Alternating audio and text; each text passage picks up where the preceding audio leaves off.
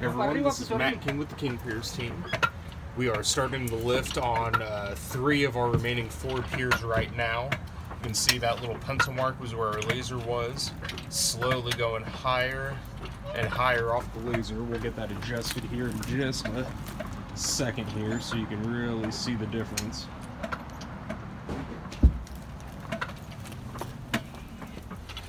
So you can see right there, just a few seconds of lifting.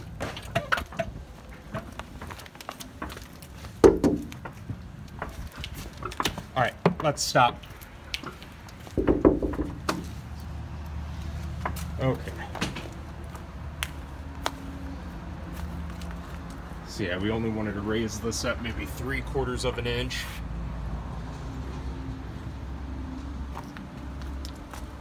So we'll take a quick look inside now. Yeah, that's the amazing thing about the King Piers system. Just about 15 20 seconds, we can raise a footing up almost an inch. Um, this one didn't need to be raised that much for those three particular holes.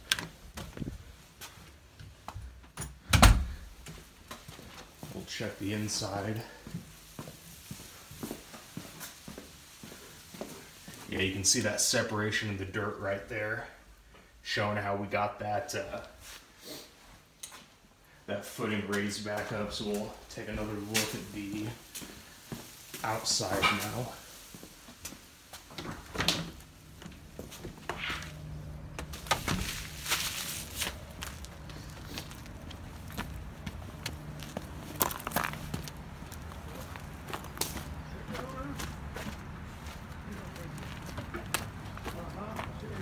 Yeah, this one probably just another couple pumps to get it all finished up.